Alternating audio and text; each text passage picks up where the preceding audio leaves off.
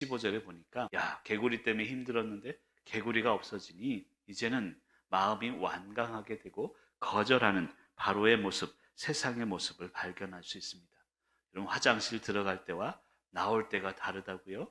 그래서는 안 된다는 것입니다. 우리 믿는 성도는 이러나 저러나 하나님을 바라보며 변함없는 꾸준한 삶을 살아가시기를 간절히 축복합니다. 저에게도 그런 면이 있지 않나 생각이 들어요. 힘들고 어려울 때는 하나님, 하나님 하면서 찾다가 이제 좀 살만하면 잊어버리는 것이 우리 존재가 아닌가 생각이 들어집니다. 그래서 하나님은 고난을 주십니다. 때로는 생각지 못할 사고를 주시기도 합니다. 여러분, 고난은요, 하나님의 음성을 듣게 하는 확성기임을 알아야 합니다. 고난을 통해서 하나님의 음성을 더 또렷하게 들을 수 있기 때문입니다.